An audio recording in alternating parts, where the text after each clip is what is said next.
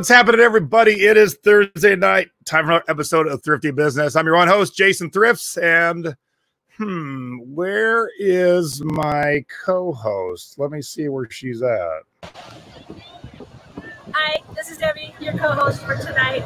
Coming to you from Pacifica Beach, California. San Francisco's just over the hill, and over behind me we have a Taco Bell that serves cocktails on the beach. Thanks for joining us tonight. oh no, Debbie was doing afternoon cocktails on the beach. Are we in trouble? no, actually, I didn't have one. yeah, I have my cocktail right here. How you doing, Debs? Yeah, let's uh, let's jump right into our first segment so we can introduce our guest and uh, we'll talk about what we are drinking. Now it's time for Jay's Tiki Talk. Each week, I drink a different rum out of a different tiki mug and try and match it up to my guest.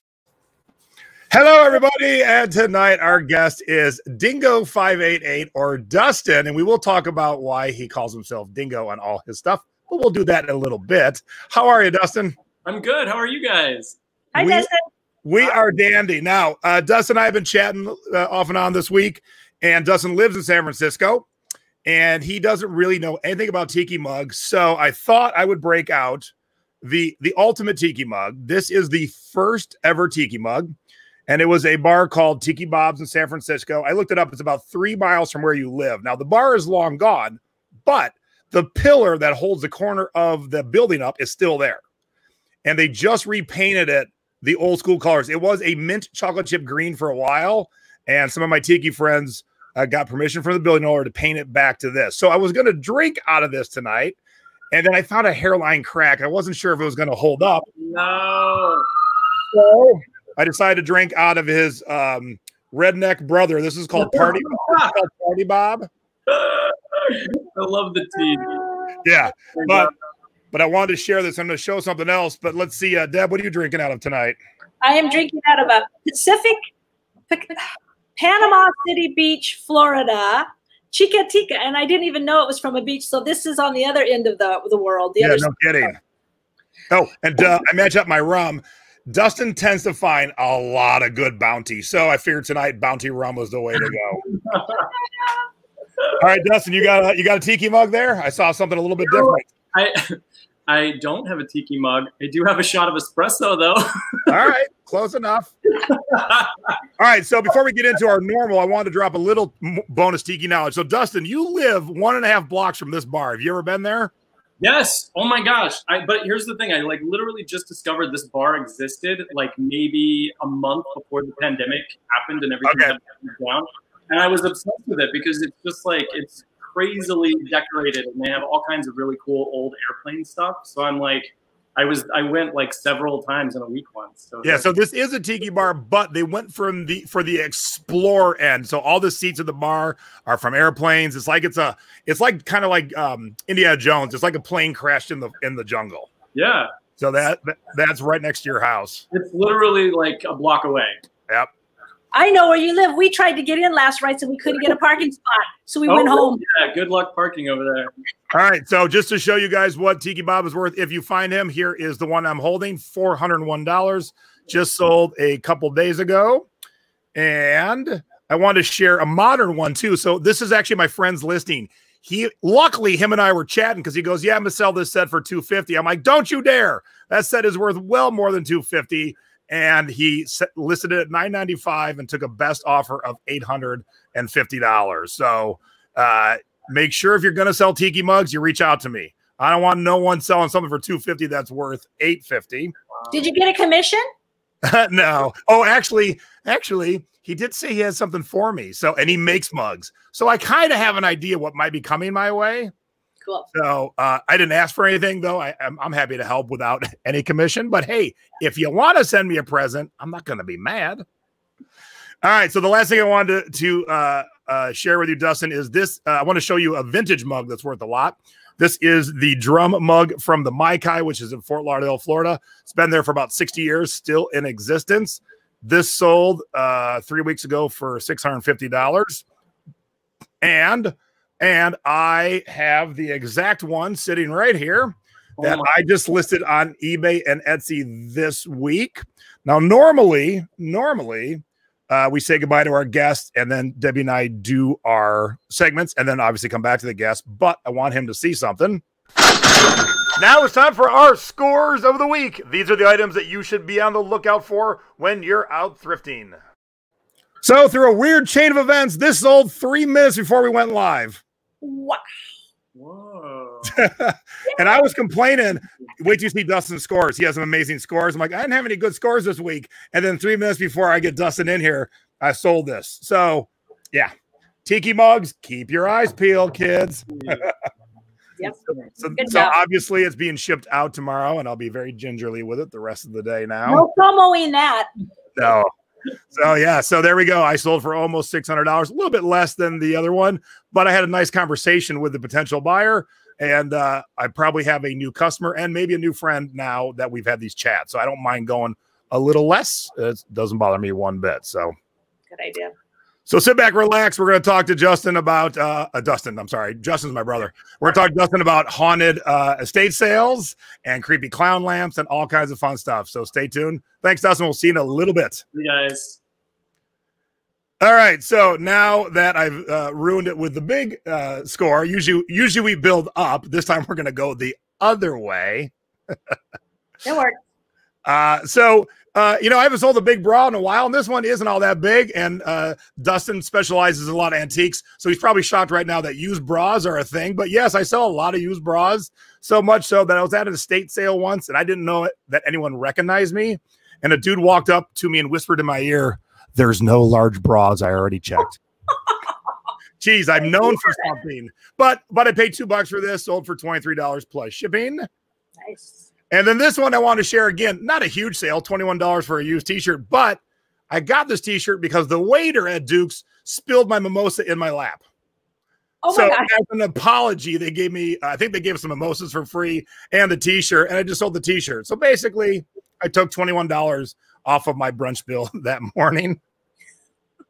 So, and the thing is, you got to be sourcing everywhere. I, I, I took my freebie, made money, and Stacy, my lovely wife, found this Anuschka uh, purse in the Savers, hanging in the regular section, not in behind the counter in the fancy section. It was five dollars. I was with you. Were you with us? Yes, we were with you when you she bought that. Yep. So there we go. How weird that you're the co-host this week, and that was one of the sales. If you're not familiar with Anuschka, get familiar. It's hand painted leather, always signed, as you can see right there. So, uh, and all the Nushka stuff does well. This 80 bucks is nice, but there's some that sell for three, four, five hundred dollars. Wow. And that is used. Oh, and I want to share this record simply because in my teachings, uh, I talk about obies. Obies are the strip that goes around the record or the CD when it's an import from Japan.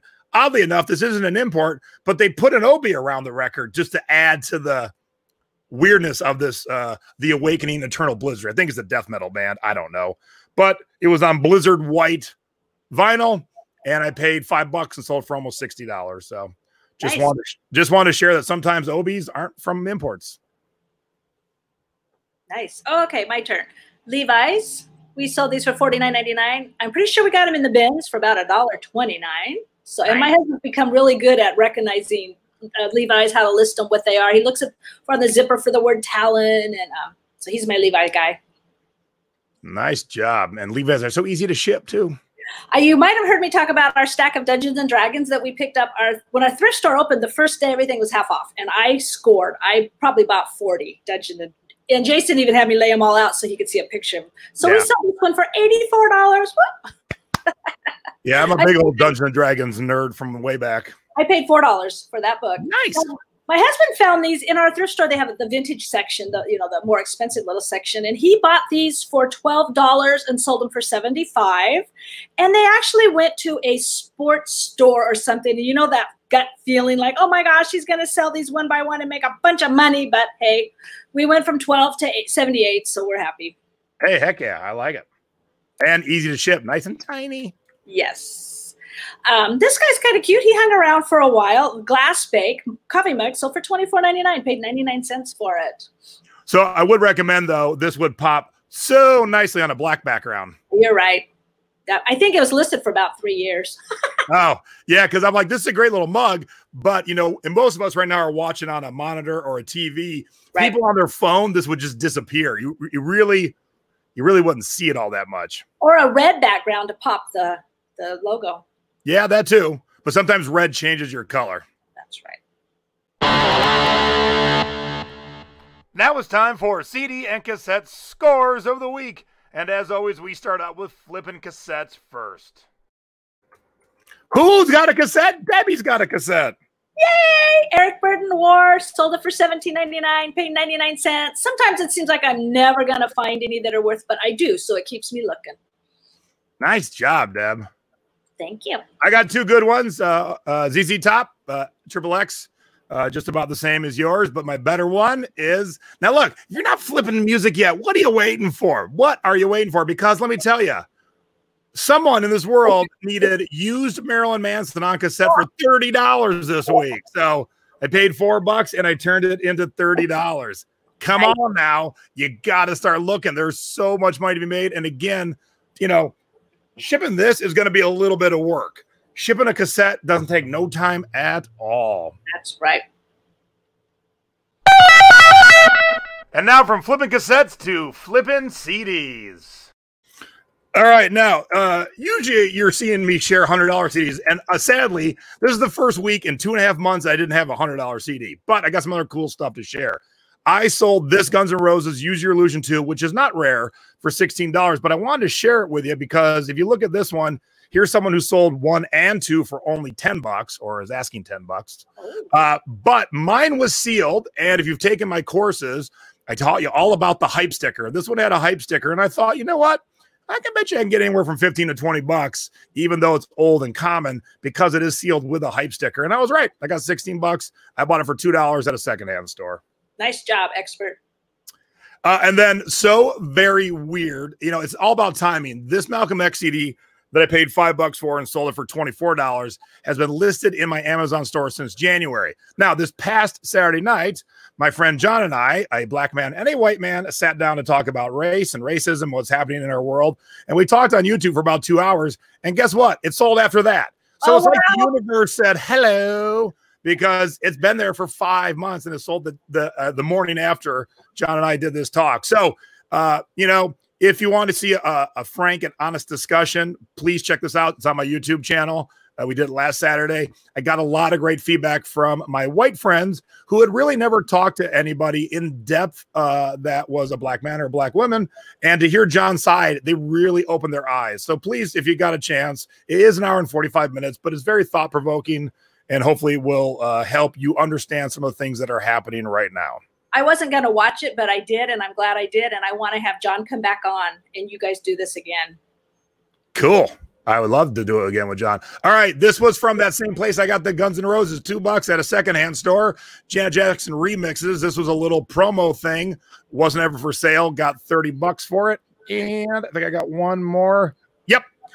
This is insane clown posse. Now here's the bummer on this one. This came. There was two CDs housed in this cardboard box. The CDs and the jewel cases were mint, but as you can see, this box is scuffed up. So I couldn't list it as like new, unfortunately, because there's nothing to do about the cardboard. So I did have to list it as very good, but I did describe it. I said discs are mint, case is scuffed. Now, if you have not learned about flipping CDs yet, I have all kinds of courses for you. Flipping CDs, one, two, flipping cassettes, flipping Christmas music over at flippincds.com. And the price is going up in like two weeks to where it should be. We've had it really low for a long time. So get over there and get signed up. But you know what, Deb? I haven't given away a flipping CDs in a long time. Oh. So, Yay. so, so let's go back to the last thing I just shared with you. Whoops, not that. There we go. Okay. If you've not taken my course, if you've taken my courses, please don't answer because let's give it to someone who hasn't taken the courses and I can give you flipping CDs one, two, or cassettes. All right. Tell me the names of the two members of Insane Clown Posse. What? And I don't mean their real Jason Smith, Debbie Weeder names. I mean their rap names. So, what are the two names of the Insane Clown Posse? Please only answer if you have never taken my courses. I can do that. Now, I don't think many of the people watching live know, but it's going to be who can Google fastest. That's what I was going to say. Get those Google fingers going. Who can Google fastest? And I will send you uh, a freebie of any of the courses. But the rest of you get over to flippincds.com and get signed up now. Uh, funny guess, floppy and stoner, but not correct. Good try. Good try. Sounds like something I would come up with. Yep. Oh, here we go. I'll keep this up on the screen. Maybe. There it is. Woo. Yeah, you always way over deliver on your courses. I mean, one, I'm not sure what the price is right now, but you buy it, you get one CD, you'll get your money. All right. Robert hit it first. Shaggy Two Dope and Violent J. Very good, Robert. All right. All right, Robert, hit me up. Uh, send me a message on Facebook, and I will make sure you're taken care of. So get get over to flippincds.com, get signed up, and get ready to learn. Whoops, whoops, I jumped ahead here. But wait, there's more. Hold up. It's time for Stacy's budget bin scores. I got the wrong picture up here. I don't have what it's sold for. I totally realized I never edited properly. Well, anyway, I'll tell you what it sold for because I know. But this is a CD of all theremin music, and my assistant had no idea what a theremin is. So I introduced her to theremin music the other day. Uh, and uh, this is Waves in the Ether. Stacy picked it up out of the budget bin for $1.99, and we sold it for $25. So good job, honey, as always. She's my girlfriend crush.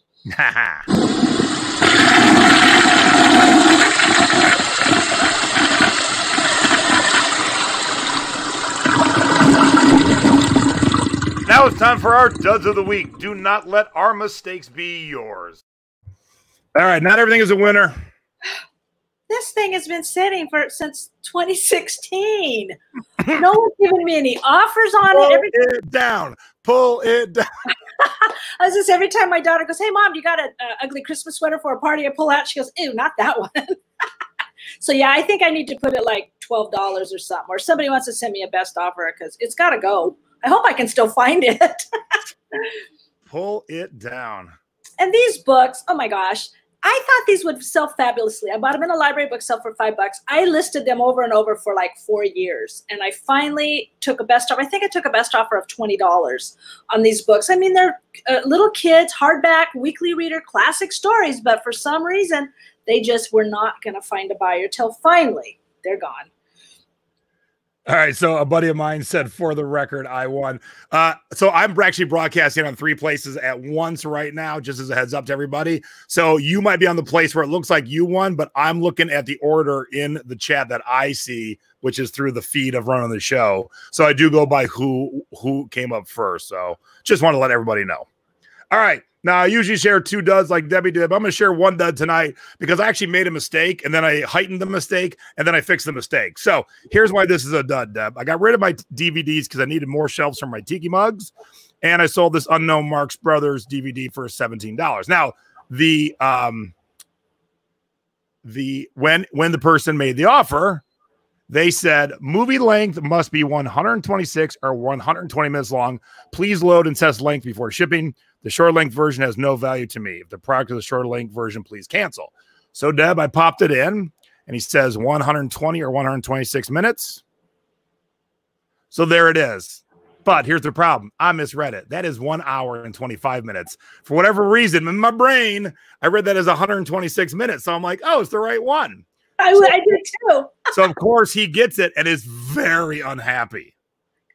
I told you to put it in, and I looked at this graphic, still didn't click in my brain, and I sent a message. I wasn't mean. I go, I did exactly as you asked. I sent you the two-hour version.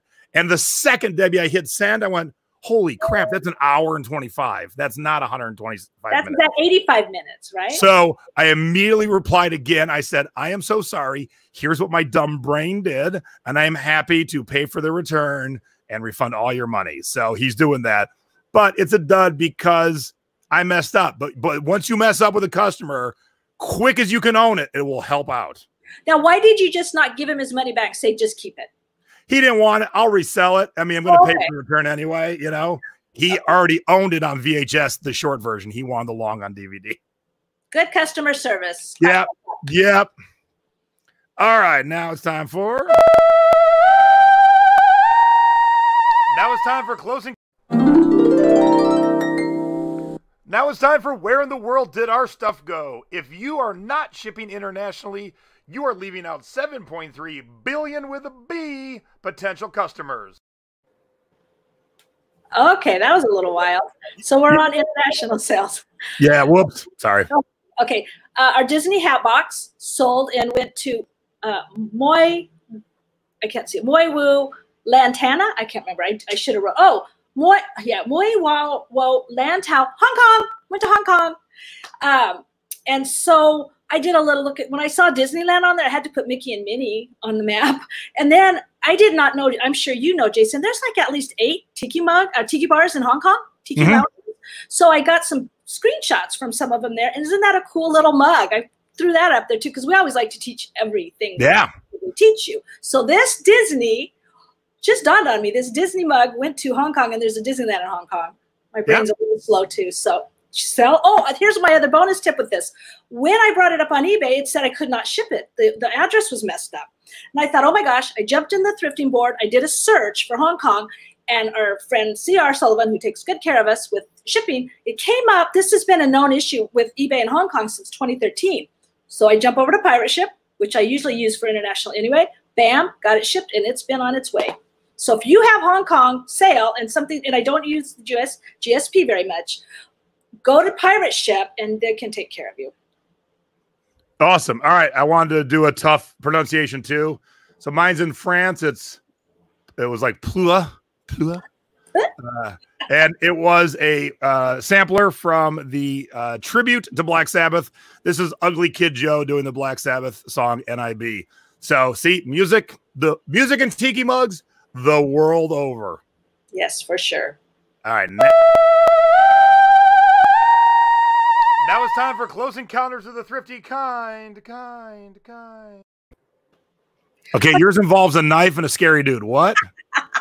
This was crazy. We're in our favorite little thrift store in our town, and there's this guy walking around. He's got the shorts on with the high high top white socks and just the whole thing. And he's very loud and he's kind of obnoxious.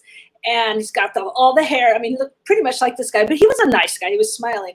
So anyway, he kind of cornered me over in the electronics. What are you looking at? So I showed him. I said, "Well, this little thing you put your pictures in. You well, I got fifty-three thousand photos." He just kept talking to me. I'm like, "Okay." Finally got away from him. He's over in the. But before he did, he said something about I'm a truck driver. I said, "Yeah, I wonder, you know, how safe." Blah blah. I carry a gun. It's always on my my dash. I learned it's illegal, supposedly in California, to carry a gun if there's no chamber, no bullet in the first chamber. So after that, it's okay. And I'm like going, "Okay, this is not what I'm here for." And then he tells me this. He goes, and if I if my I can't get to my gun, I have my friend Betty. He pulls his switchblade out of his pocket, flips it open right in front of me, and goes, "Meet Betty." And I'm like, "Hey, Betty." So I'm thinking, okay, I feel safe. My husband's here somewhere.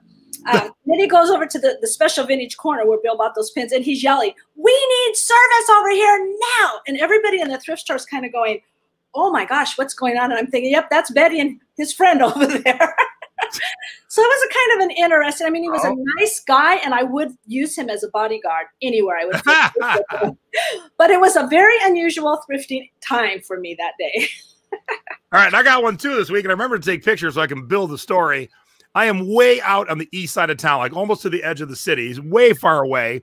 And the uh, I was going to I, and answered an ad a marketplace, and I was going to pick up some stuff. And the guy said, "Okay, I'm in building five. Here's the code to get in my gate. Just let me know when you're here, and I'll come down." The second I pulled up, Facebook Messenger as a whole across the country went down. No. message him, but I didn't know it at first. I thought it was my phone. So I called my wife. I go, Can you go grab my laptop and message this guy? And she goes, Yeah, Messenger's not working. So I'm sitting there for 20 minutes. So now he's obviously thinking I flaked. And just so I just started knocking on doors in building five. And, and here's the bonus these two young gentlemen were using the leaf blowers around the building while I'm trying to knock and listen. and I got someone finally answers the door. And I had this picture from our chat on Facebook. I go, Do you know this guy? And now I think I probably look like a bounty hunter. You know this guy? So I'm like, Look, I'm just buying some cassettes. He's one of your neighbors. I don't know what apartment he lives in. I was holding a mail tub, an empty mail tub. I'm like, I just want to pick up my cassettes. And so finally, I knocked on every door, and he opened one of them. I'm like, oh, thank God. Oh my gosh, that that's the best ever. Yep. So there's my thrifty encounter for the week. now it's time for you have got to be ship me what to do and what not to do when it comes to shipping. Okay, I've talked before that white roll of paper on the left. I get that at Sam's Club. That's my packing paper. It's always new and clean. I use that. Well, the other day I was out digging through our boxes in the garage and I found the tube that comes out of the middle of that. And I looked at it and I thought, this thing is heavy and thick. Perfect to cut for whatever length I need to put into a priority flat, padded flat rate envelope to put something in it, something fragile that would you could probably run your car over that tube and it wouldn't bend. So save your tube. Some come in my bubble wrap tube, but they're not as thick as this. Save your tube, save your trash, your clean trash, you know, things to ship with because that would oh, yeah. Great. I've got a closet corner full of those thicker tubes for just that reason. Good tip. All right. So I am selling this uh, Millennium Falcon, Han Solo, and uh, Chewbacca Tiki Bowl and little mug set and I decided to go with standard shipping. It's a pretty big box, and it'll go into a little bit bigger box. And I do the generic standard because if it's going to somebody in San Fran or LA or Phoenix, I can ship it priority, no problem. If it's going to somebody in Vermont, because of the size, I'll probably end up going FedEx home. So with the generic standard shipping, I can pick and choose what I want. Now let me look at my competition. First competition is charging $54.50 for shipping. so I beat him hands down. Second competition, free shipping. But this is what I always tell you: make sure you're comparing apples to apples.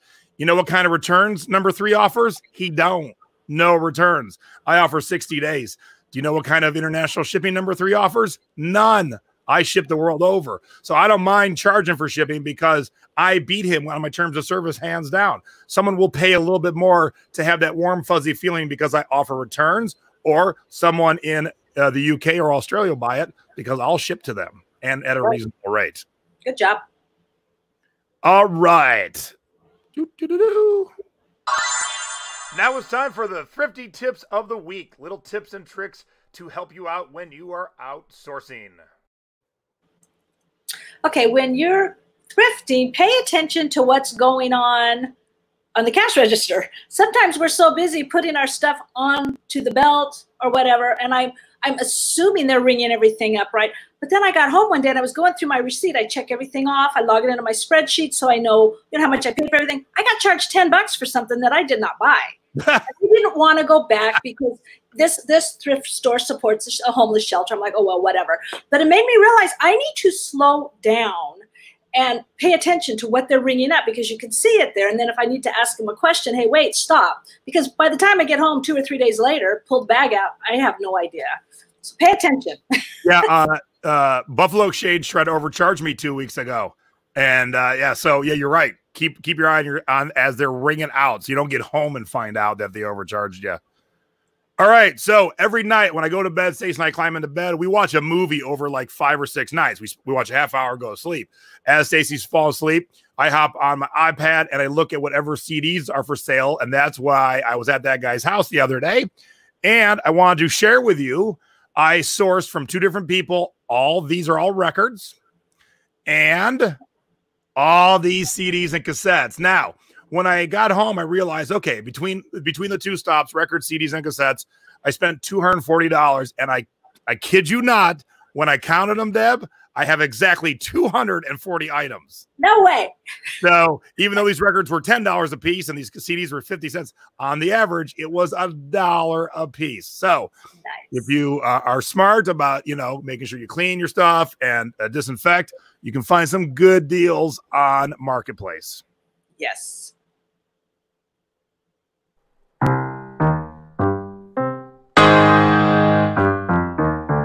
It's time for our online selling tips of the week. Doesn't matter if you're selling on Depop, Etsy, Mercari, eBay, or Poshmark. Here's some little tips and tricks to help you out when selling. Okay, um, quite a while, a couple several years ago, I got dinged because I didn't know the buyer had paid. Well, he had paid me, but I didn't respond to him and let him know. Two hours later, he dinged my DSRs and my communication. So that taught me as soon as they pay, I leave automatic feedback. So I wanted to show you the steps to do that in Seller Hub. Over on the left, you go down selling tools, and then you can follow these steps. And then the the number two pink arrow, that shows the link to number three, and that's where you can put in your custom, your your slow, your uh, your phrase. So I, I everybody gets the same thing. Super fast payment, great buyer, very positive. Soon as they pay, they get that feedback.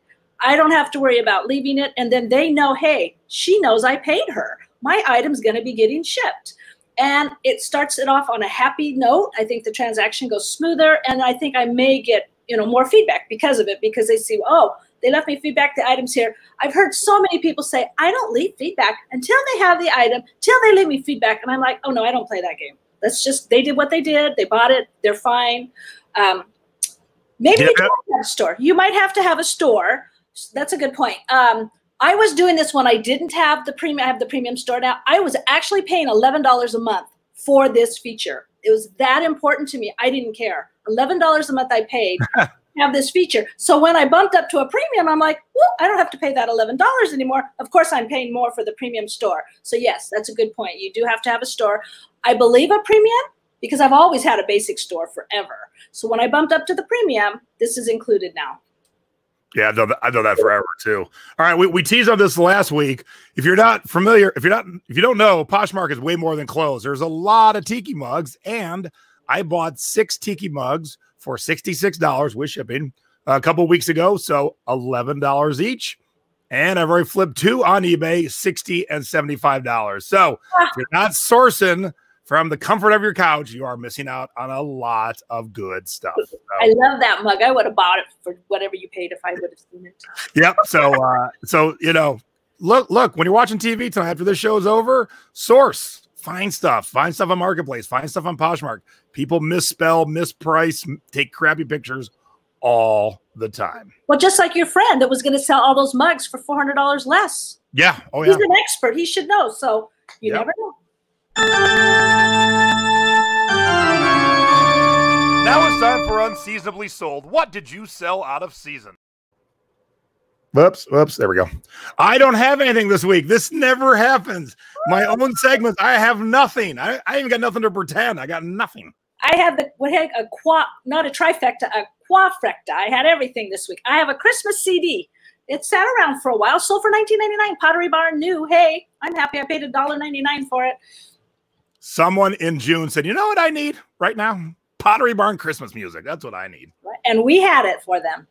Awesome. Good job. Yep. I didn't have anything this week. So let me get uh let me do a little quick housekeeping here and then we'll get Dustin in. Okay. So because I don't do enough shows and YouTube things are ready, uh, uh the Low and Nalo, which is Nadine and Lola's uh Friday morning show, uh, Lola is not feeling well, so I'm going to fill in as color commentary co-host tomorrow noon East Coast, nine o'clock, nine a.m. on the West Coast. That is on Nalo's uh, YouTube channel, not mine. I'm just filling in as co-host. So please come on over. If you don't know Depop, come on over. I'm going to be learning too, and I'm actually going to list tonight on Depop. I'm going to have Nadine grade my listing, see how I did. And today I dropped this video. If you haven't seen the news story, six eBay employees were uh, uh, arrested for cyber stalking and uh, mentally terrorizing a, a, couple in Massachusetts. So uh, I've been on eBay a long time. I wanted to drop my uh, thoughts on this. So when you get a chance, check it out. It's only about uh, 28 minutes. For those of you in the Secret Beach, tomorrow night is my monthly webinar what to do when you're in emergency. My PayPal got compromised two weeks ago, but I was prepared in case it did, and I was okay moving on, or was I? Find out more tomorrow. And immediately following, we're having the Secret Beach Cocktail Zoom Party number three, where we have a group cocktail every week. And this week, we're playing Stump the Tiki Expert. So you've if you've not, if you're the Secret Beach and you've not gotten your entries into Debbie, get them into Debbie so we can have some fun stumping me tomorrow. And then Sunday is Father's Day. So we are going to be celebrating all fathers of both humans and fur kids. And we're going to be talking to Big Daddy, my father, about his shipping exploits because, and we're going to talk to Dustin about this in about two seconds. He ships a lot of big stuff too. And my dad isn't afraid of anything big. So we're going to talk to Daddy on uh, Sunday. And then next week, Stacy and I are actually getting away from all the craziness and going away for a couple days. So we have no shows next weekend for the first time in forever. So we're taking Stacy and I are taking a little break, but then we'll be back the following week. All right. Dang it! I, I still haven't done anything with like the doorbell to get our guests in here. Uh, d- ding dong! There, uh, that'll work. Hi. How are you, Dustin? Good. How are you guys? Uh, we are good. All right. So let's jump right in. Let me explain how uh, Dustin and I ended up chatting. Dustin doesn't know this yet, but we're going to be best friends. So he doesn't know that yet, but it's happening. Uh, he joined the thrifting board uh, like a week and a half ago and sent me a message and said, Hey, uh, I do videos. Do you mind if I post them? Now, A, I am always appreciative when people ask permission. The amount of people who just think, I'm going to post my own stuff in someone else's home is always mind boggling to me. Now, typically when I watch them, especially on somebody new, like I don't know you, like I didn't build my audience for you, but I watch the video and I'm like, damn, Dustin gets it. It's so good.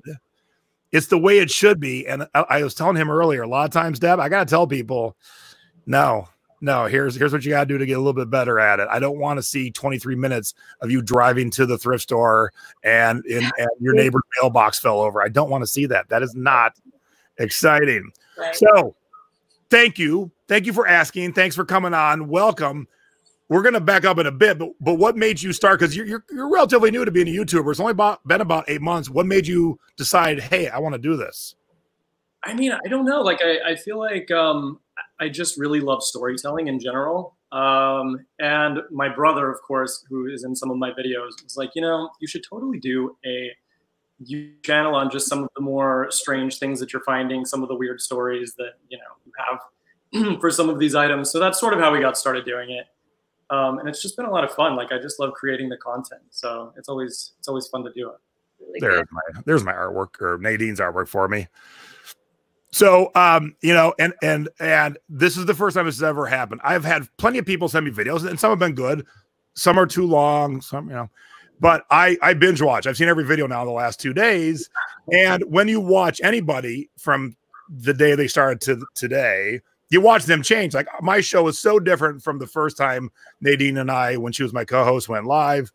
Uh, so I've watched your opening change uh, at least three times. Oh yeah, yeah, yeah. That uh, that's been a little bit of a process for sure. I think, um, yeah, I, I had to change it. It was just a little, a little too long, a little bit too intense at first. So Well, and here's the thing, Deb. Uh, here's what I watch, and it, it's it, and one of the reasons I want to have him on is uh, we're going to talk about a bunch of things. He he finds a lot of cool stuff. He knows stuff about stuff that we and have never talked about. But a lot of people want to do YouTube, so I thought I found a guy who's doing it just right, and let's talk to him. So what what he used to do with his openings was he would actually start, "Hey, I found this great mug today. Let's check it out," and then he would play his opening. And his opening was like, "Hey, I'm, I like treasure hunting and telling stories." Then he switched it to the opening started it, and then he switched it to the opening doesn't have uh, you talking anymore. yeah, yeah. I uh, I don't know. I, I felt like it was just too it, was just too long. Like the new opening, it's just a little bit cleaner. It's just like a few quick flashes. I feel like it sums up like what the episode is, you know, what the channel's about, which is kind of important. You know, you want to know what you're getting into. Nobody wants to waste their time clicking away on things that aren't what they're interested in. So uh, I sent it right over to Deb. I go, "Hey, watch this video. I think I want to have him on the show because he."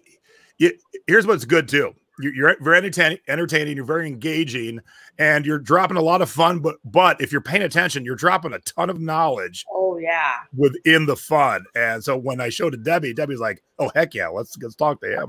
I'm like, I'm so happy you guys had me on. I was super excited about it. I was looking forward to this all week, so I really Yeah. appreciate it. As to it, I'm right around the corner in Pacifica Beach right now. I saw, I saw the Taco Bell. It's supposed to be the fanciest Yeah. Taco Bell in uh, in Yeah. The country. So Yeah, it's right on the beach. You can walk right up to the window from the beach. yeah, it's kind of crazy. It's good real estate for sure. Yes. So did anyone uh, say anything to you, or did you just start watching your own videos and realize, all right, I need to change this and this and this to to, to tighten it up a little bit? Um, I just like I I have a really short attention span, and I will watch other people's videos and see things that you know make me kind of like not want to keep watching. And so I've just tried to really like chop out anything, any dead air. Like if I'll I'll watch one of my videos a million times, and I'm like, okay, is that necessary? No. Is that necessary? No. Like I just try to cut as much fat as possible and just keep it very. Um, I want everything to be something, you know. I don't know good. if that makes sense. Yeah. Oh yeah, it does. That's nice. Yeah. Uh, and and I, that's why I wanted uh, to talk because I know a lot of people want to start their YouTubes, and I've got friends that started some within the last couple of weeks. And I, thinking about my show, about half the segments we do now, we weren't doing at the beginning. Things changed. We got rid of some stuff, and you know the unseasonably sold. Where where I realized I was selling Halloween masks and Christmas stuff all through like May and April. Oh, and yeah. a lot of people think you should wait to the seasons. I was like, let's add the unseasonably sold because we want to teach people. Man, you find something good Christmas, list it, but list it at what the price would be on December twentieth, Right. not not April price. Yeah, I think that's good. I uh I I mean I've I sell things for Christmas year round. Like I'll find Christmas stuff that people will buy in the middle of August. Like it just doesn't seem to phase a lot of people. It's a big holiday. People like it. All right, is it this? Uh, yeah. Okay. So, um, so let's back up now. You live in San Francisco. Did you grow up in San Francisco? No, so I grew up in Texas and uh, from Texas I moved to LA about 18, like right after school. Um, so I've kind of I've done some jumping around. And uh, the reason, uh, if you guys have seen uh, Dustin's videos, the reason he's so good and engaging is you are also an actor. I am, yes. I, I discovered your reel on YouTube. Did I did I show that to you, Deb? no, but what was the first thing I said to you? It was he an actor? Is he an entertainer? I knew Uh, it right away. And he said, "Oh yeah, he's got his IMBD page or whatever," but I haven't seen it yet. Yeah. Yes, definitely. I do have some. Uh, I do have some movies out there. So I gotta say, in your reel, you were in a uh, what soap opera was that that you were in? The Young and the Restless. Okay, so you were in one episode, correct? Yeah. Uh, yes. Were you a waiter or a busboy? A, a busboy. Okay, I gotta tell you, and this is just, this, I'm not saying this just because you're on my show. You, you outacted the person who's normally on the show. I was the busboy. You were so good and smooth, and she seemed so like reading the line, reading the line, reading the oh my line. Oh my gosh. That's so funny. No, I, I was like, honestly, that was one of my favorite things ever because my grandma is insanely like religious. She does not watch movies, like nothing with cursing. Like she's very, you know, like by the book.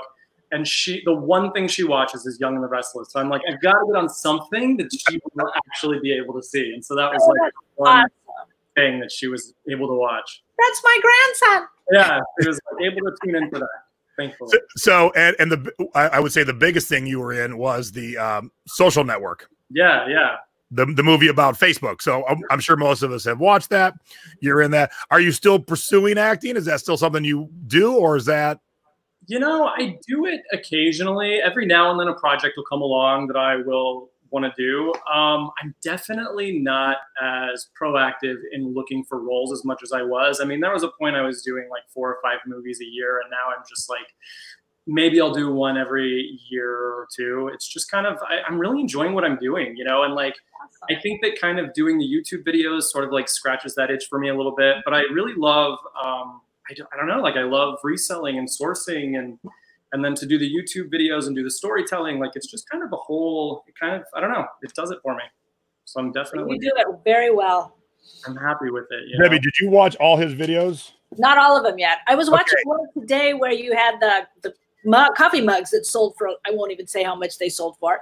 The white one, and I'm reading that to my husband and my brother. I'm like, look at this. They looked so boring, and then they it, it actually ended up selling for more than what I even thought they were going to sell for. Like I, I told them this I'm not going to say because I don't know what you're going to talk about in your scores, but it was awesome. Yeah. So I took notes because I watched every single video. And what's good, uh, what's good, what you do really well, and that's what I try and get people to make sure they understand that is framing the shot. You guys, you and your brother were in Mexico. He wasn't doing so well, and uh, you guys, it was pouring rain, Deb, and they went and had some tacos. And while they're there, uh, a, a partial mariachi band came up and played. And Dustin was selfie filming and he was lip syncing, had the guys perfectly framed over his shoulder, just did it so well. I mean, it's not a long moment, it's just a couple seconds. But if you do put out content like I do and, and you do, Deb, you got to pay attention to what's being framed and stuff. You know, if I sat all the way over here, it'd be ridiculous. But you got to make sure you're framed right and, and you do it very well. And uh, so good job on that. I can't wait to see that one. My poor brother. He's Yeah. So does your, do you and your brother live together? No, he, he has his own place. Um, but we we had the sh- the same workspace, so we just do a lot of work together. We our businesses are separate, everything's separate, but it's like it's so much fun. You know, you get to go and like work and hang out with your best friend and just like act ridiculous and take photos and you know be And you stupid. can you can ship for each other if you're out of if someone's out of town or something. Hey, Exactly, exactly. And he has me. And, and funny enough, that's kind of what I'm talking about tomorrow night in the Secret Beach. You know, if you fell down tomorrow and broke both your arms, is there someone you can call to ship the next day? Yeah, You very got to have that person. Now, Yep. what are the chances any one of us right now are going to fall down and break both our arms tomorrow? Probably not, but it's happened to people. Oh, it happens. even breaking one arm would be hard to ship. Having just one hand. That's problem. All right. So the one thing throughout all your videos that stood out to me that is sh- really uh, shocking in a good way is your knowledge of African art and tribal stuff. Like people see me in, in music and tiki mugs, and you're like, what? And then I watch you, and I'm like, I feel like I'm dumb. I really feel dumb because you have. So, so where'd you get all this knowledge of of African uh, art and tribal stuff?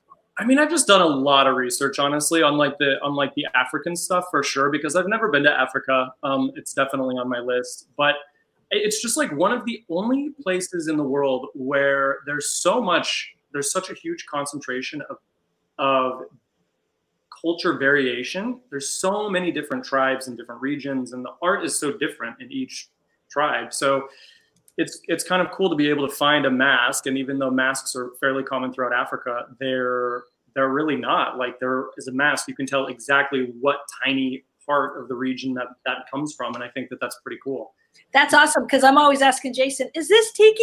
No, probably African.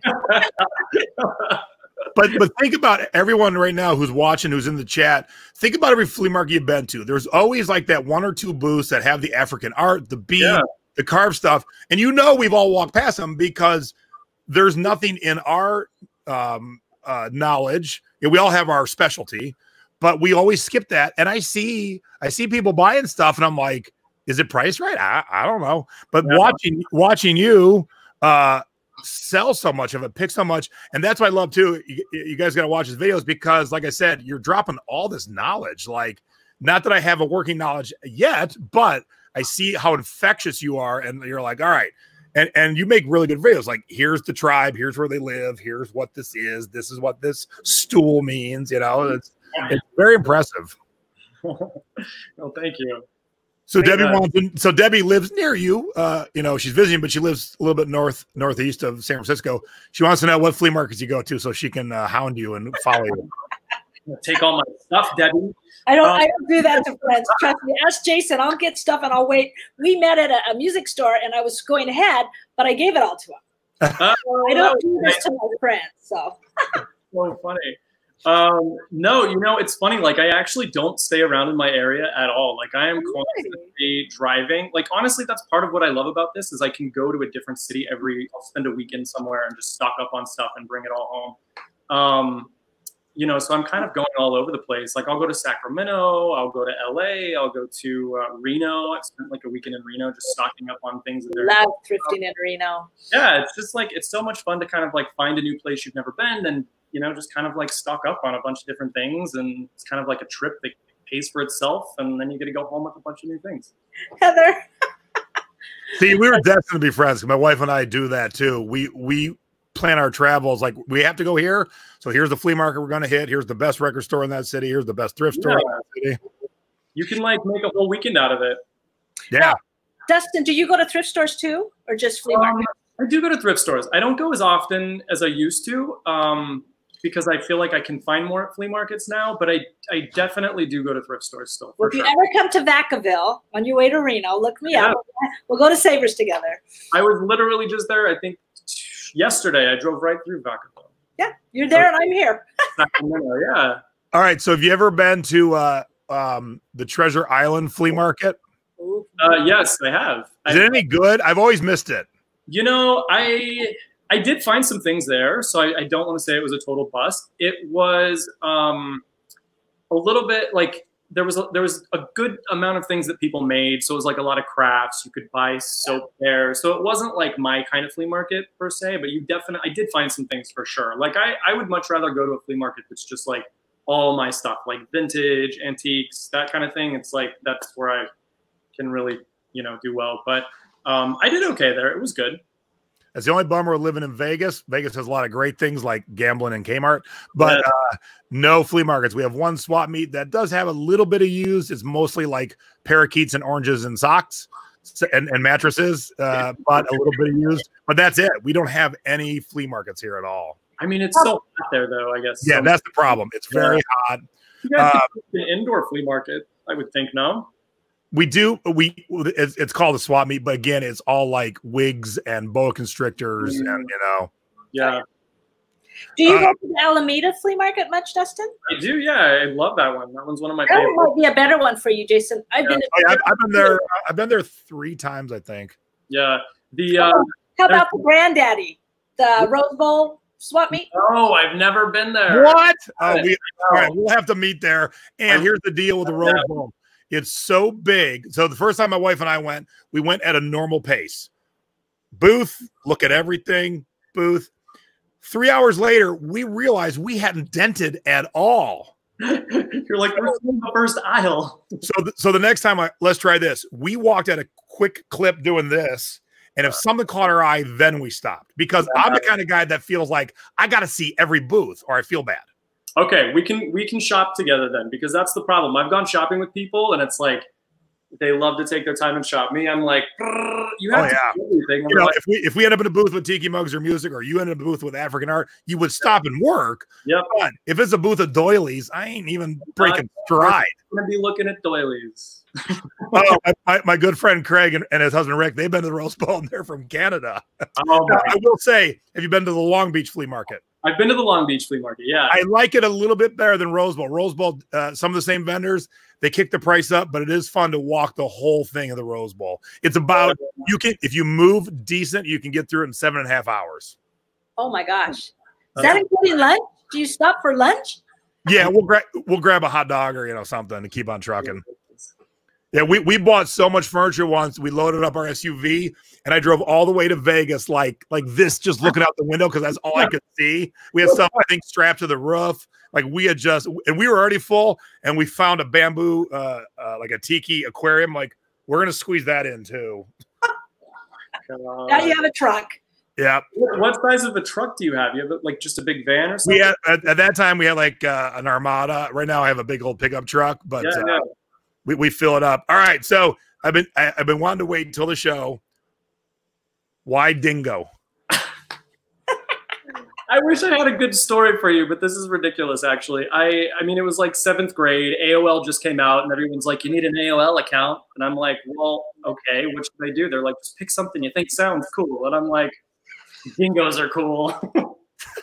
like the seventh grade thing that I picked for my email address, and I just kept it for all these years because I liked it. It went from my uh, my YouTube. It went to my um, eBay. It's it's still my email address, just not AOL anymore. But yeah, that's that's kind of where that came from. Does the 588 588 mean anything in your YouTube name? Nope, it was probably just the first number that wasn't taken. I love it. I mean, yeah, I mean that's it. All right. So I want I want everyone to watch every video, but if you want to watch only one, only one, uh, it's gonna be this one right here. That's what I watched today. Oh my god. Uh, Oh, the creepy estate sale. Let me find uh Jason sent me the link and said, watch this. So I dropped everything and watched it. all right. So you're not gonna hear it right now, but you're gonna want to hear you're going to want to hear and see what's going on in this room and especially with hey wait for it yeah that why? Uh, why? did it stink? Did that house smell really bad? I haven't. It just smelled like an old house, but like I just I couldn't figure out what was happening. I'm like I'm I think I'm gonna be murdered at some point. However I, i'm in love with the nooks and crannies upstairs there like I No, I mean somebody really got creative with this house. I'm telling oh you. yeah so watch this because this is hidden rooms in the walls kind of house and Mhm. bloody pillows in the air vents like it's It's crazy. Now, now I'm gonna tell you why I'm a little mad at you. You didn't look at any of those slides. Okay, I didn't. I didn't. I was honestly a little bit Slides of like death or something. I mean, what? No. I know. And this was also also this was the estate sale where I had like found those mugs that we were just talking about, and they were just kind of piled in the kitchen downstairs. So I was also a little worried somebody was going to go and like take those. So I was really kind of trying to rush, and that room was utterly terrifying. So it wasn't anywhere I wanted to like hang out and like do my shopping. All right. So what is that? You got to hear him describe it. But yeah, it's uh the pillow that may or may not have blood on it. And Linda, if you love creepy houses, this will win. Check it out. sure. When you see everything, especially the thing you show hanging from the ceiling, my wife and I are both like, Did you guys? here's my wife thought, giant bird. Oh, totally. I, Giant bird. I don't still don't know what that was for. Like, why is that there? Well, I have to ask: Is there more video from that show that you have that you didn't put in it? Could we have a part two?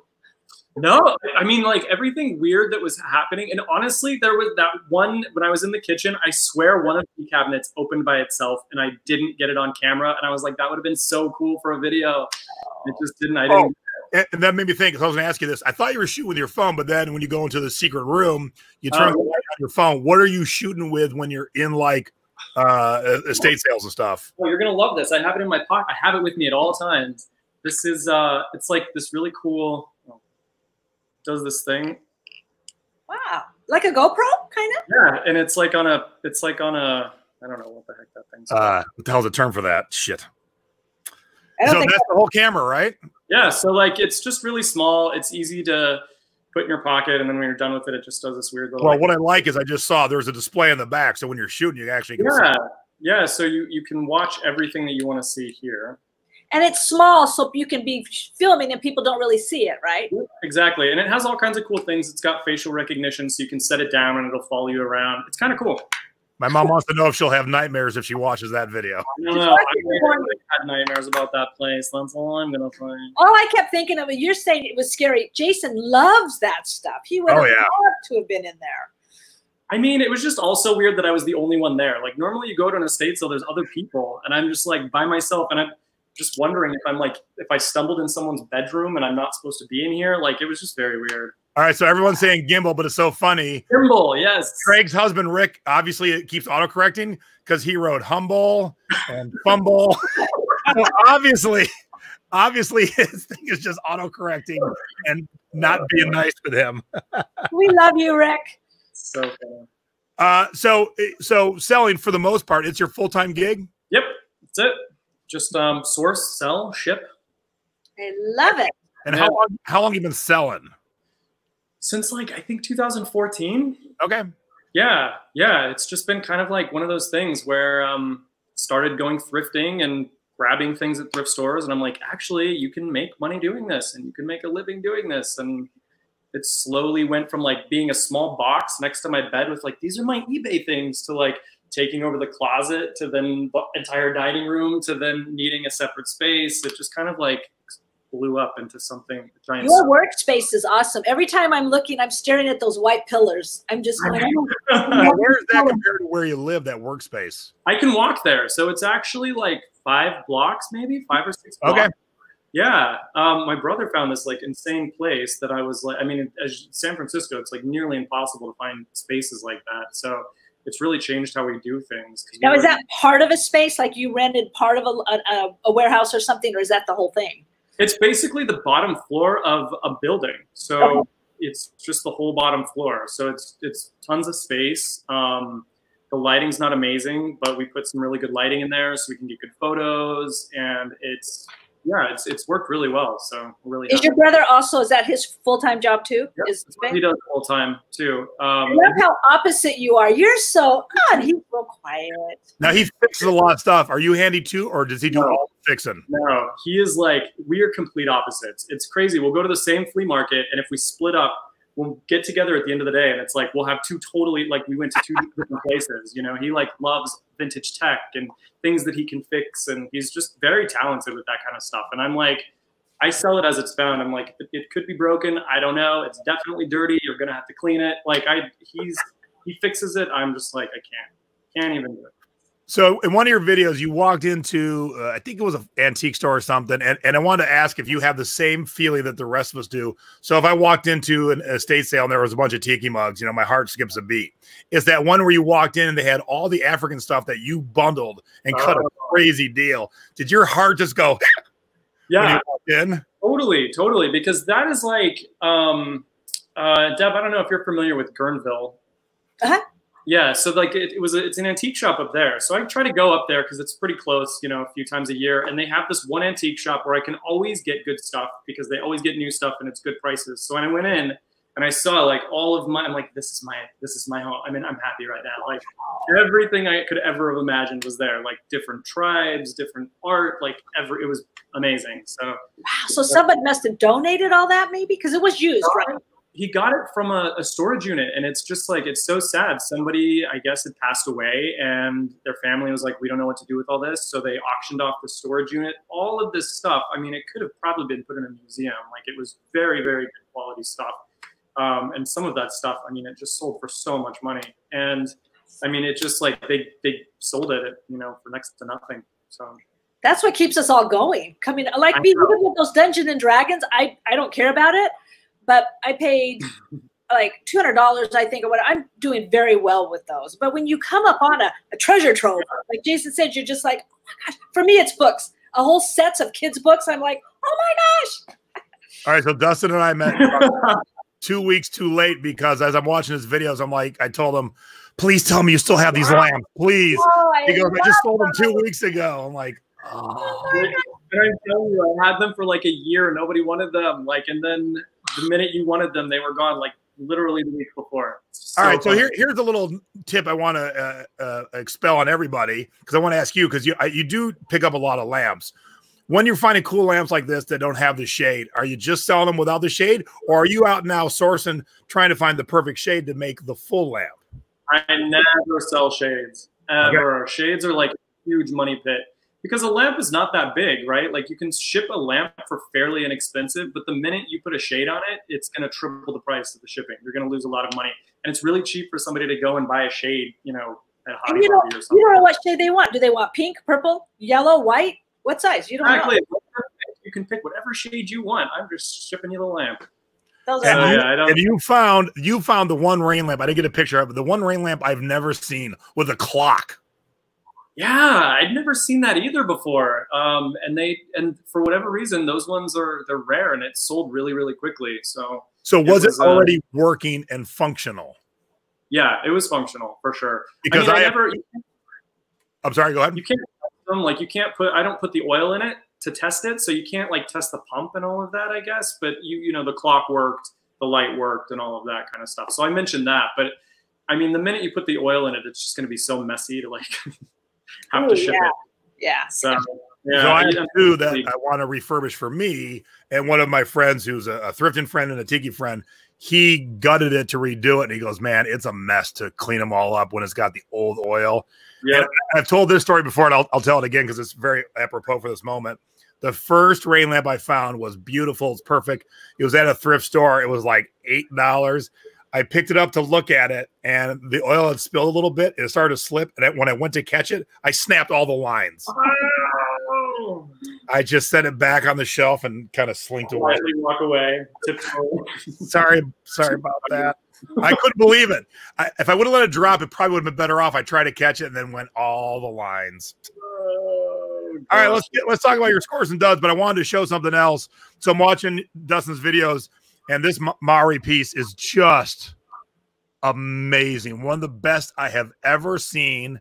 And I said, please tell me you have this and please tell me it's not worth a lot. He goes, Oh, I did. I, I saw that it was worth a lot. So to demonstrate how big it is, here you are holding it and even better so, uh, if you wouldn't mind, what would you pay for this and what'd you sell it for? Um, you know, I grouped this together with a whole bunch of other tribal stuff. So, like, they had a bunch of stuff from like Papua New Guinea, Africa, and then they also had stuff from New Zealand. So, I got like, a few things from New Zealand, and this was just one of them. And I think I don't even remember. It was somewhere around like 150 for like everything. It was not. It was not a lot of money, really. Um, but again, like people just, you know, a lot of times it's big, it's bulky. They just want to like sell it. So if you're willing to buy it in bulk, you can get pretty good deals on it. Um, I, think it ended up selling for like a thousand dollars or something to someone And you shipped that big monster. You know, that wasn't even so bad. I mean, it wasn't. It's not super breakable, so it's easy to ship. Um, you know, and yeah, yeah, it wasn't too bad actually. I'm thinking of dimensional, but it's so thin. Yeah, it's super thin, so you can really you can really pack it pretty easily. Yeah. And this is something I want everyone to look at because it's kind of cool. I've never seen anything like this. And uh, this is your website, dingoscollection.com. And what's cool is, okay, here's all your eBay listings. And then, uh, so here they are, do to do to do.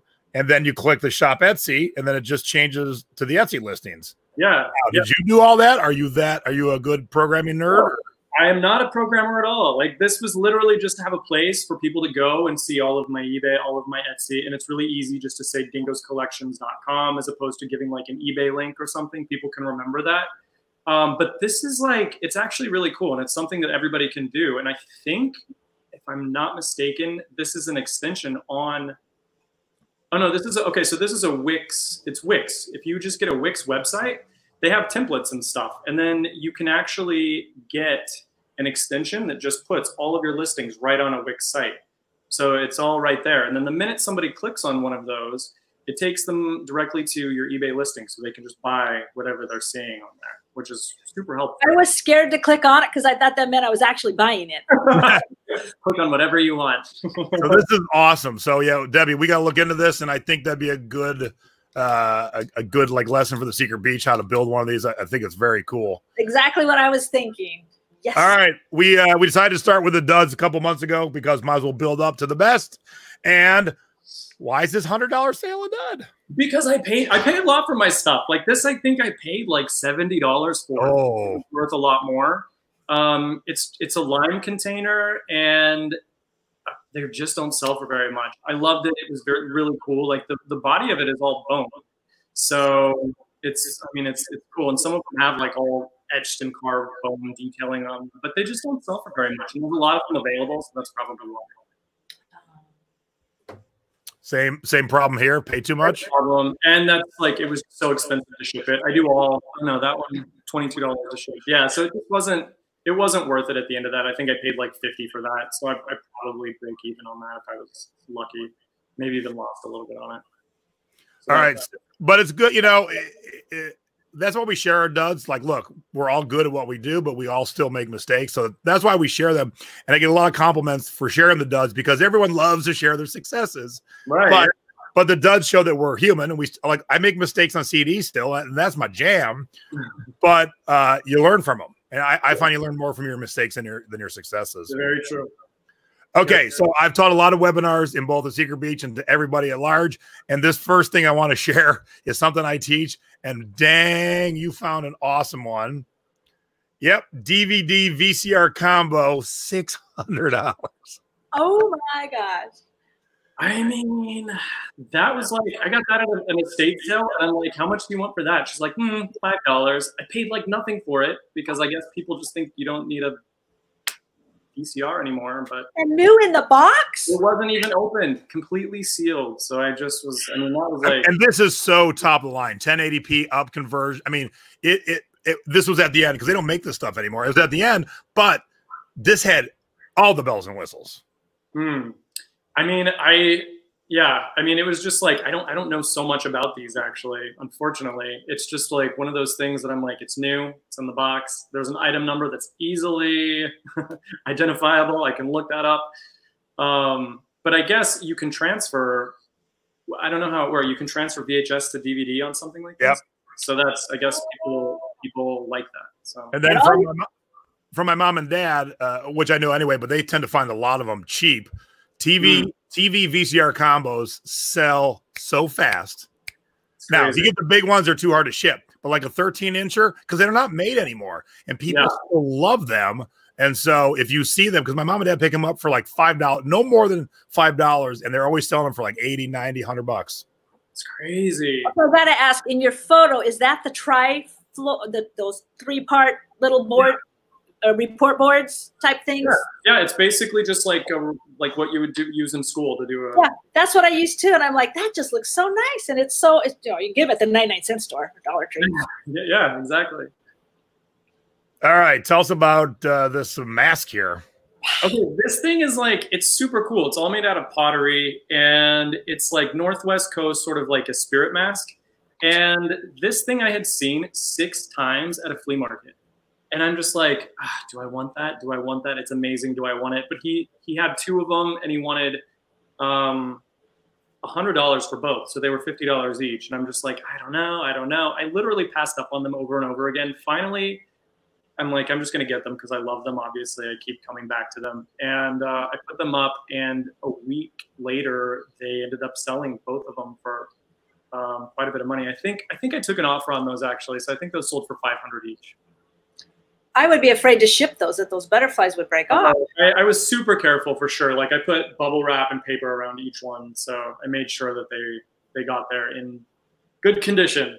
That's a little creepy for me, her eyes, but I love the butterflies. realistic, right? Like they're kind of like hmm, kind of scary looking. Yeah, it's interesting. Oops, I wanted to go to this one first. Pretend you didn't see that.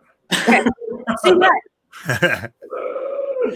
Oh, the Lalique bird. So uh, this one, I think I paid $150 for this. This was at an estate sale. Um, and it didn't sell for seven. I think it sold for 550. So it still did really well for $150, but it was huge. I mean, this thing is like, I don't know if you can see it. It's like, there, there's your hand. Yeah. Yeah. And it's in really, really, it was in perfect condition. There was no, you know, maybe the rare time when I'm not mad at hands in there to demonstrate really how big it is. Yeah. I know. I will do it sometimes for that because this company makes tons of different sizes of things. So you're not going to be able to see unless you want to put like a soda can. I've seen people do that. But I don't, you know, I'll do one picture with a hand so you can kind of get an idea of the size. I think I like the hand better than the Coke can because I always think I should. I do too. Like I'll, I don't mind the hand in a picture every now and then. Yeah. And and when you do these uh, glass things that are mostly see through or a little like uh, you know cloudy like this, on black is the only way to go. It really makes them stand out. People try and take glass stuff on white. No way. Black is even though eBay they they all want white, but when you're doing glass and smoky glass and clear glass, black is the only way to go. There's no way you can see glass on white. It's nearly impossible. I know. I always ask them. We go to these events. They're like, yeah, white, white, white, and Google says white. And they were showing us how to do the removal of the background. I go, how are you going to do a pair of white jeans? How? Yeah. Impossible. Yeah. Impossible. No. All right, we'll end on your big dog here. Uh, whoa. So this is a it's a Lundberg lamp. Like it's it's all made out of glass. So the base is glass, the shade is glass, and on this one I did keep the shade with it. Um, but this company kind of makes things like Tiffany used to make things way back in the day, where it's all you know very Art Nouveau style. But uh, this company still makes these actually, so you can go on their website and buy them. Everything is one of a kind, but they're super super expensive. So they really don't lose value. If you were to buy one brand new, you could probably sell it, you know, ten years later for the same price, maybe a little bit more, um, just because they're so rare. Uh, and I got this at an antique shop for two hundred and fifty dollars. Um, and wow, in an antique shop, you would think that they, you know, that would be the last place you would find something. Like I know, and you know, I actually got I got a lot of footage at this antique shop, and I'm thinking of doing a video on art glass because I bought like two of these actually there, and a bunch of other stuff that was art glass. Um, and yeah, like this this is a cool thing. I think people would like. Um, these Mary says you stole it for that price. totally. Yeah, it was a good price for those for sure. So do you get a lot of returns? Because I mean, when you're selling more expensive things, I think sometimes that turns a lot of us off. Like, oh, if I sell that for that much, and then I have to, you know, they want a refund. Yeah. So do you get a lot of returns? You know, I don't. I get I get maybe on a bad month, I'll get maybe four or five, which isn't terrible. I, I sell probably a hundred to 150 things a month. So to get you know, three to five is not terrible. And that's usually on a bad month. There's some months I don't get any, but usually, yeah, I'll get like one or two. And then you just probably relist it and resell it anyway. Yeah, exactly. Exactly. There's always somebody, most of the time people get it and they're like, oh, it doesn't work in the space. There's a lot of stuff people use for decoration and it's a little frustrating, but it's, you know, it's the cost of doing business. So Good and then we just you like that attitude, huh? yeah, you have to. All right, here's my last question. Did you sell the uh, bank vault wheel? Yes, I did and I don't even remember how much it was. It was some crazy amount. I want to say it was like six hundred dollars or something. It might have been four hundred dollars, and I was asking six. I can't remember, but it was like it was a lot. Yeah. So so when when you see when you see his videos, you know you see a lot of the same stuff from me because we all kind of work in our zone, and then you'll see these odd things from time to time. But it really opens your eyes to so much else as out there that you know once you've conquered what you know start i mean that's why i teach classes why i have the secret peach that's why i do webinars because you conquer what you know but then you're already standing there. So now i know you're looking for tiki mugs. Now you see me selling for 600 i was like texting my brother. I'm like he's watching. I'm like did you see the tiki mugs? People are looking for tiki mugs. Yeah because you're i mean there are so many tiki bars in the bay area current and i can even give you heads up when they're dropping brand new mugs they're always limited edition, and then they're instantly worth double and triple what they're going for. So you could go have a drink, and then basically you made money having a cocktail. That's crazy. I, I could easy peasy on that. oh yeah, yeah. Because because Last Rites has dropped uh, two or three that were instant classics that went up in price immediately, and you're right there. You live there. You're next door. Yeah, like I'll just walk down and have a drink. Can you get us each one too when you go? crazy. I had no idea. So, uh, thank everybody for tuning in today. Those of you who watched my video earlier, thank you very much. If you haven't seen it, check it out about the big eBay to do. And again, if you uh, if you're unsure of what's happening in our country in terms of race and and and you know, if you are of white skin, you don't know what it's like to go through life with uh, black skin. And John was very uh, upfront and talking about raising kids and things. I don't have any children, so things I never thought of. So please watch that. Love to hear your feedback. Love to hear your feedback on Dustin, and please go watch his video. Subscribe. I got. I, I really doing this a long time. Uh, really quick, you become one of my favorite YouTube channels. And it's, it's that rare channel that I'm. I can't. When's the next one? Like I'm ready. Like when's your next video already? I've seen them all.